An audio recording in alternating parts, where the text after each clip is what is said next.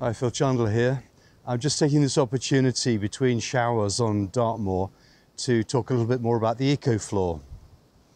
And uh, this oak tree here, splendid old oak tree, which must be at least three or four hundred years old, um, it has been uh, lightly trimmed lately, and here's the here are the uh, the bits that were taken off by the tree surgeon.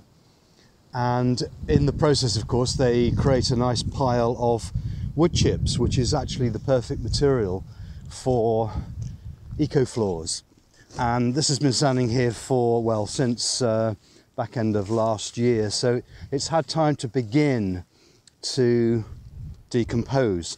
And there will, amongst all these chips here, there will be uh, molds and fungi starting to grow and spread.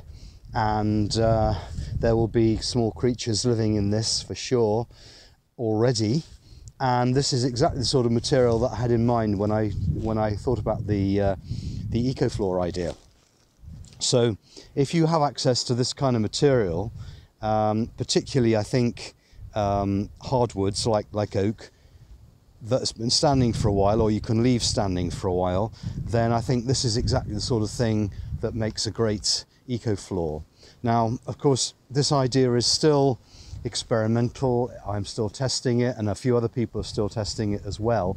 But I think we're on the right lines. I think it's the sort of it's um, it's helping to create the environment that the bees uh, are used to living in, and and we have to presume prefer uh, for the for the reasons that they they actually uh, choose those the, those environments in terms of hollow trees.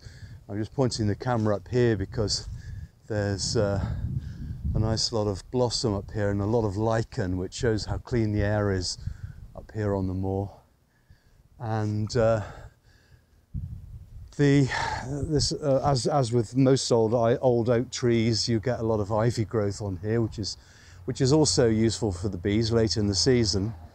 Uh, last year the ivy was a bit late and it didn't actually yield terribly well, but it's still an important last end of season crop for the bees because it helps them fill up their any spaces in their nest that doesn't have uh, honey in it yet. They can fill it up with uh, ivy honey, which does crystallize very quickly. And it's, uh, as far as humans are concerned, it's a bit of an acquired taste. It's not one of my favorites, but it's okay. It's, it's crunchy, would be the word for it. It sets really quickly and it's, uh, it's crunchy.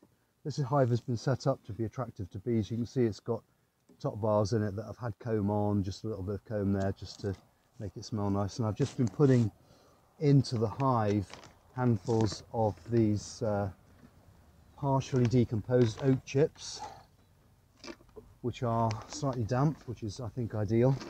And I'm just filling the uh, the floor to a level where the um, the follower board can sit comfortably if I make a little indent into the floor, the, the, the, the follower board can sit comfortably in that and that provides a seal there to stop um, unwanted visitors like uh, like wasps and so on. And that's really how that's how I set up an EcoFloor, just uh, just like that. I'm just going to put the insulation back on. That's not enough insulation, by the way. That's just a, a stopgap measure. Um, there, there was a mouse nest in this hive. In fact, last time I opened the hive, a mouse popped his head out and um, I had to persuade it that perhaps it wasn't the best place for it to live, but it seems to have moved out now. So anyway, that's just a few words uh, about EcoFloor material. Um, this is my preference, and you'll notice that just under the surface it's quite damp because, well, Devon, Devon's a pretty damp place, and particularly Dartmoor. Uh, and I think it needs to have, well, it definitely needs to have um, a, a, degree of moisture when it's inside the hive. This is, this is the apiary right here, you can see. Um, and that's been the big challenge actually with the, the EcoFloor is actually keeping the moisture content something close to what it should be or what it needs to be. Um, the tendency seems to have been to have it to, to dry out somewhat and uh, that's something we uh, we will need to uh, avoid.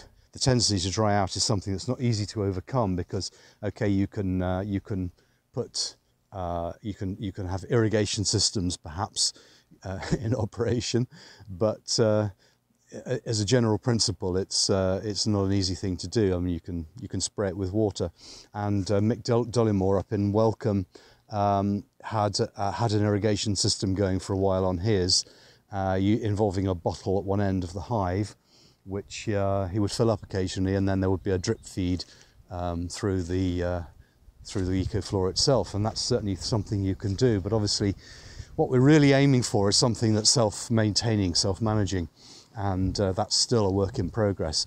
And if anybody has further ideas about the EcoFloor, I'm, I, I would be delighted to hear them.